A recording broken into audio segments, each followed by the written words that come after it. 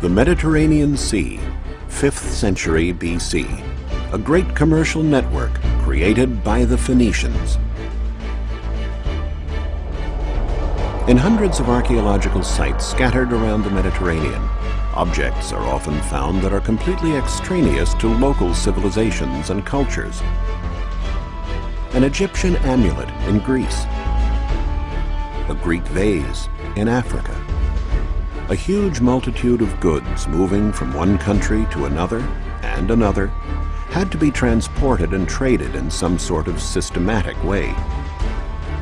And it is the Phoenicians, with their tall headdresses, their formidable ships, their skills in trading, and their courage on the high seas, who made a name for themselves in this pursuit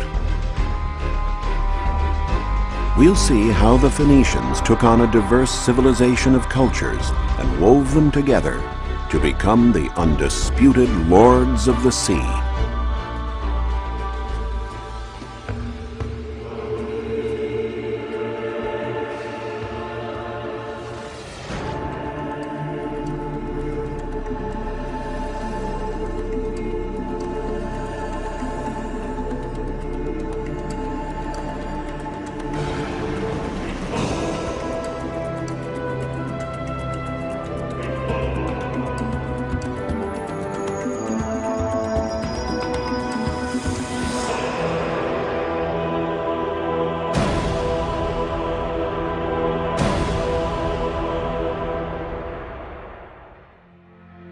The Phoenicians originally came from what is modern-day Lebanon. They were organized into city-states, the most important of which was Tyre, whose magnificent Roman ruins are still standing. The easiest way for Phoenicians to increase their prosperity was by contact with other peoples, and the quickest route to new lands and cultures was the Mediterranean. They soon became outstanding sailors and astute traders, indeed the very best.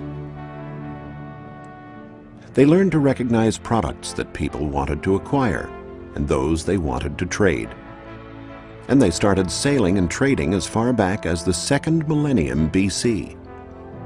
To support their trade, they set up ports and founded colonies, built warehouses, and created a network of routes that touched on neighboring countries such as Egypt, Greece, the Magna Graecia, and Carthage in North Africa.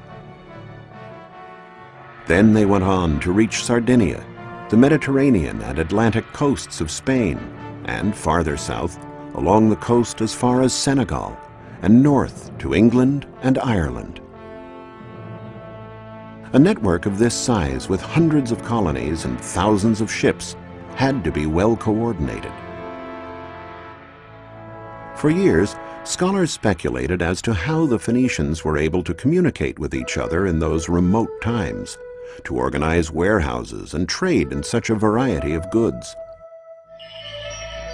It was the discovery of this sarcophagus of the Phoenician king Ahiram, which dates back to the 13th century BC, that enabled archaeologists to understand the reasons for such great organizational skills. Engraved on the sarcophagus is the most ancient example of writing in alphabet form. It is composed of letters and not hieroglyphics. The Phoenicians were the first to invent an alphabet, a factor that proved indispensable in establishing their great trading network. We can get an idea of how extraordinary this innovation was from this comparison. On the right, we see two Egyptian hieroglyphics, and on the left, two letters from the Phoenician alphabet, an M and an H. By assembling these letters, the reader now didn't have to interpret a concept represented by a hieroglyphic or picture. He had a specific code that always remained the same and had the same meaning for whomever was reading it. The commanders of the Phoenician fleets had to have many skills. They not only needed expert knowledge of the sea and foreign lands, but they had to know the art of trading as well, what to buy, what to sell.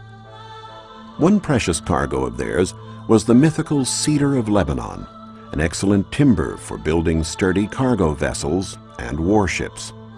The timber could be bought in Baalbek, situated in the mountains that formed a backdrop to the Phoenician cities in Lebanon. In the Hellenistic period, the city of Baalbek was known as Heliopolis, City of the Sun.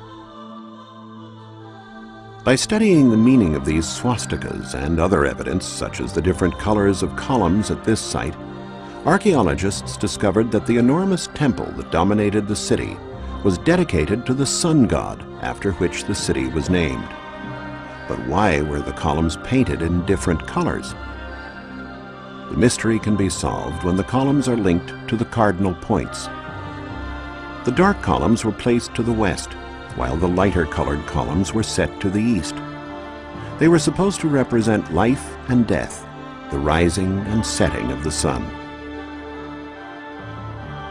In 60 AD, the Cella of the Sun God was the most important construction in the entire sacred area, with 54 columns over 60 feet high more than six feet in diameter.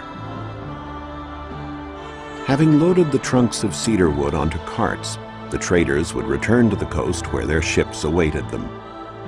In the Bible, Ezekiel mentions that the Phoenician city of Byblus, which also lies in Lebanon, was the biggest naval shipyard in ancient times. Crossing the seas was not an easy matter, even with a good ship. This was one of the reasons why help from the gods was sought throughout the Mediterranean. These precious bronze statues covered in gold leaf have a strange headdress. It is a libad, which is typical of the Phoenicians. The statues have been found in great quantities in Byblus. They were votive objects used to invoke the favor of the gods. They were found at one of the most important places of worship for the Phoenician religion, the Temple of the Obelisks. In Byblus and other Phoenician cities, the remains of numerous Phoenician cargo ships have been found. The typical ship was 65 feet long and over 16 feet wide, large enough to carry a great deal of the precious cedar, as well as luxurious fabrics dyed with a reddish-purple pigment known as murex. The Phoenicians took their name from these fabrics. Phoenix, Phoenician, comes from the Greek word phoin, or red.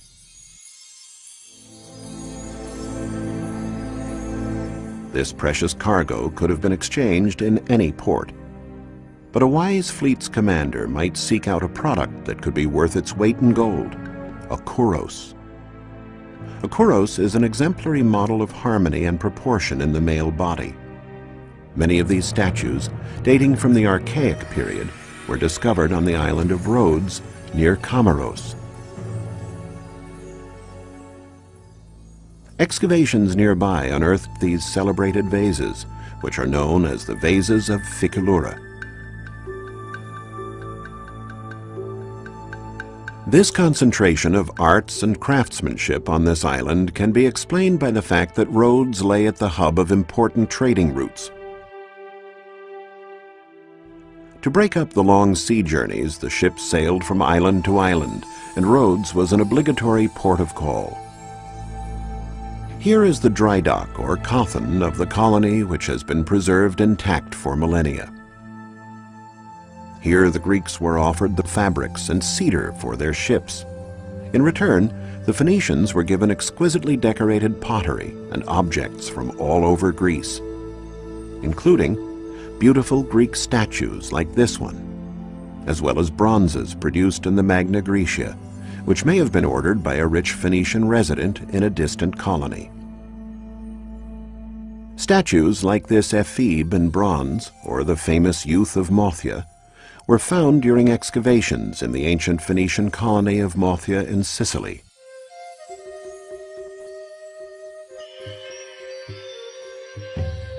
The statues testify to the level of Phoenician trading in the Mediterranean, a veritable cross-cultural exchange. The ship, now loaded with vases, statues, and jewels, continues its journey to the west. It sails past the Pillars of Hercules at the Isthmus of Gibraltar and heads south along the Atlantic beaches of Africa between Morocco and Guinea. The Phoenicians were the only people brave enough to venture into the Atlantic. Ancient peoples were terrified of passing the Pillars of Hercules because they believed that beyond lay the end of the world. What was it that pushed the Phoenicians so far? The Greek historian Herodotus documented it in his writings. It was gold. The Phoenicians unload the merchandise and lay it out on the shore. Then they go back on board their ships and send up smoke. The locals see the smoke and place the gold that they are offering in exchange beside the merchandise. Then they withdraw. The Phoenicians descend from their ships and examine it. If they calculate that the quantity of gold corresponds to the value of their merchandise, they take it and leave. Otherwise, they go back to their ships and wait until they are satisfied. The African peoples were very taken with the showy eastern goods and quite indifferent to the yellow metal that was found in such abundance there. This was the great bargain for the Phoenicians, leaving inexpensive pottery and jewelry and setting off again with gold. The ship would now head north. Excavations in England and Ireland have revealed that the Phoenicians reached even these far-off lands. Numerous finds have indicated that in exchange for pottery and jewelry, the northern peoples gave tin, a metal that was in great demand for producing bronze and the other alloys used by the Phoenicians and Greeks. Ireland was the most northerly landing point for Phoenician voyages, and having traded their goods, the sailors could now make the return journey. The trips always held the portent of danger. In the storms of the North Atlantic, the brave commanders would safeguard their ships and cargoes by tying themselves to the bow so that they could see more clearly and avoid the cliffs. It was from there that they gave instructions to the crew. If they were lucky enough to make it through, they would head south to the Phoenician colony of Cadiz. Here the Phoenicians bought iron and paid for it with gold. Then they traveled on to Majorca, and from there to the rich colonies of Sardinia. It's here that an archaeological dig uncovered a gold mine, not a seam or stratum of gold, but a huge array of precious gold jewelry, now on display in the Archaeological Museum in Cagliari.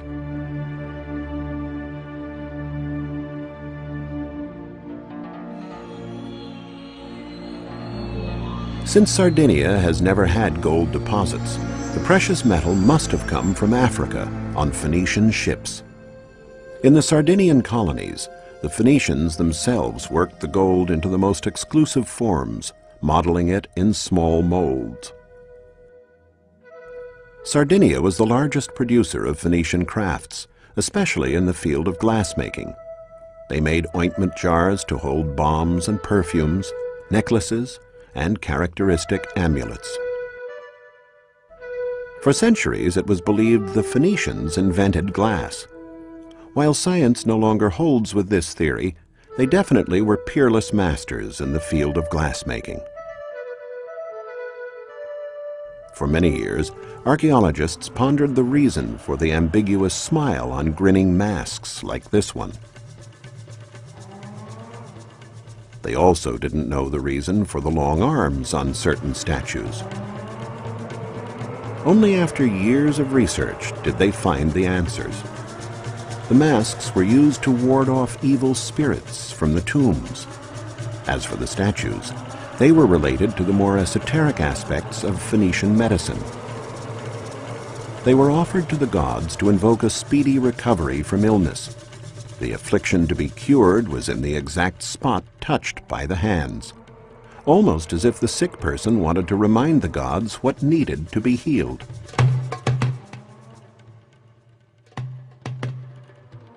Walls and the sea.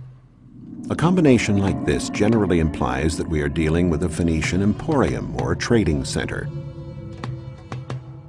The archaeological site of Tharos in Sardinia may not have any large architectural structures still standing, but it is one of the most eloquent when it comes to ancient urban design. Here, Phoenicians would have traded the iron, lead, and part of the tin and gold they had for precious jewels. Tharos was one of the largest producers of jewelry of the period. Among the many Phoenician remains here is a completely extraneous round construction called a nuraghe that was typical of the Pelites, the ancient inhabitants of Sardinia who were conquered by the Phoenicians.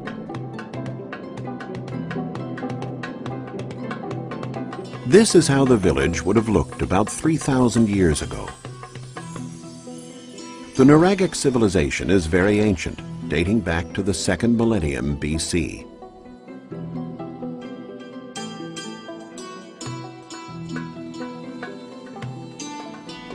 Their settlements were very compact, with narrow winding streets which made it easier to defend the village from enemy incursions.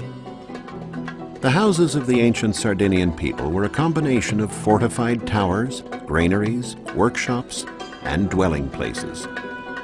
There was no distinction made between the function of the various constructions.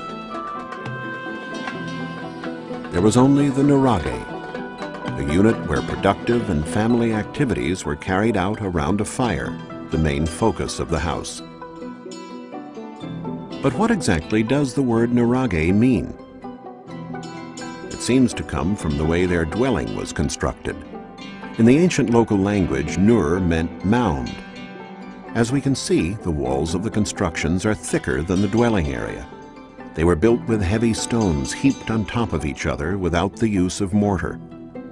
The constructions reached heights of more than 65 feet without using any lime. And they are indeed mound-like.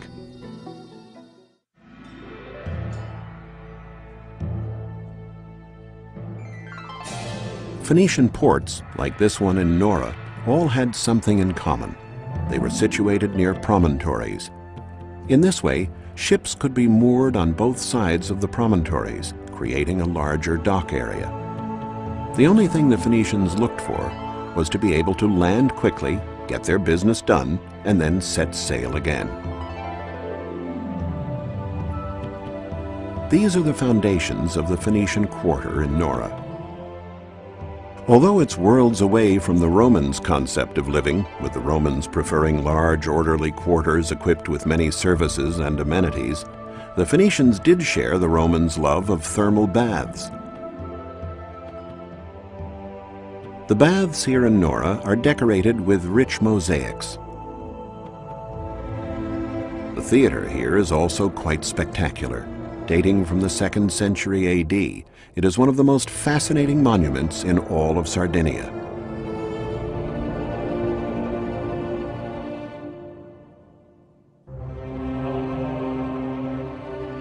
From this Spartan 5th century Phoenician port, the fleet would have set sail again now laden down with even more jewels and precious objects. One of the greatest archaeological mysteries regarded the port of Carthage, queen of the Mediterranean, the most powerful of all Phoenician colonies.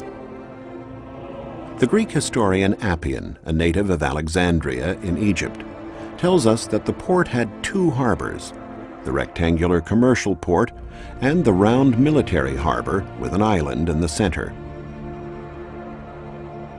However, in modern times, no place seemed to correspond to that description until in the 19th century, the writer René Chateaubriand noticed these two lagoons near the bay of Le Kram were very similar in shape to the ports mentioned. He realized that this was Carthage. This discovery led to a heated debate, which was only concluded with excavations carried out in 1974 a British team excavating on the circular island found evidence that confirmed Chateaubriand's theory. Bustling port of Carthage was the largest and most modern port in pre-Roman times. Warships would pass from the commercial port through a narrow passage to the military harbor. Merchant ships were forbidden to pass beyond this limit. The ship that is entering the port is a trireme with three tiers of rowers, though the Carthaginians also had quadriremes and quinqueremes, which can be compared to modern-day battleships. All the ships returning from war missions, by which Carthage dominated the Mediterranean and protected Phoenician trading routes, were moored in this port. It was circular, with a round island in the center, known as the Island of the Admiralty. There were dry docks both on the island and in the outer perimeter of the port. On the summit of the island was the Pavilion of the Admiralty, from which the Supreme Commander of the fleet gave military orders. A bugler and a herald, armed with flags, controlled the traffic of ships in the port.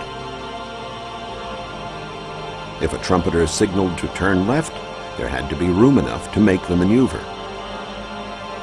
The basin of water in which the ships moved was thus over 300 feet wide, the same diameter as the island of the Admiralty on our right. There were 30 berths in the center and 140 on the outside. Since some of the very deep central moorings could hold two ships, there could have been 200 ships in the port at one time. The military port in Carthage was always packed in winter, since bad weather made it dangerous for the ships to be out on rough seas. Thus there was a tendency to avoid war during this time, and this was a good time to service the ships. The trireme would be pulled up onto dry land over the slightly sloping terrain of the island. Planks of wood set crossways ensured that the ships kept their grip on the slipway. At the entrance to the area, ionic columns set at sea level gave the impression of a portico to make this military site look more elegant. The ships were also given special aesthetic treatment. Phoenician ships typically had an eye painted on the bow that was supposed to strike fear into their enemies. A warship differed from a cargo ship in that it had oars and oarsmen that enabled it to move very quickly. As well as being outstanding sailors, the Phoenicians excelled at shipbuilding. They mass-produced ships and replaced the vessels sunk by their enemies with great speed. All the parts of the ship were clearly marked by different letters and kept ready for quick assembly. In this way, they could build an entire fleet in a short period of time. The busy commercial part of Carthage, however, was the Byrsa, the Acropolis of Carthage. This is where the major transactions, the trades and selling of jewelry and glasswork brought from Sardinia, would take place. These goods were in great demand in Carthage. On their way home, the ships might also sail up the Nile to the grand and mysterious kingdoms of the pharaohs. Despite the fact that Egyptians followed the cult of the hereafter, the royalty adored earthly treasures. The Phoenicians would have traded the jewelry from Tharos for linen, a hard-wearing fabric that only the Egyptians knew how to make. This material was indispensable for the robust sails used on Phoenician ships. They might also have purchased rare and exotic goods greatly sought after at the Persian court, namely monkeys and crocodiles. Finally, completing the loop and reaching the town of Tyre, they could sell the exotic animals to the Persians and the linen to their fellow countrymen. They'd be left with gold, silver, and a lot more money than they would have paid for the cedar back in Baalbek. Through their travels and their trading, their ancient wheeling and dealing, the Phoenicians formed links with most of the known world at that time enabling a variety of peoples to share the best that distant cultures had to offer. The Phoenicians, undisputedly, the master merchants of the Mediterranean.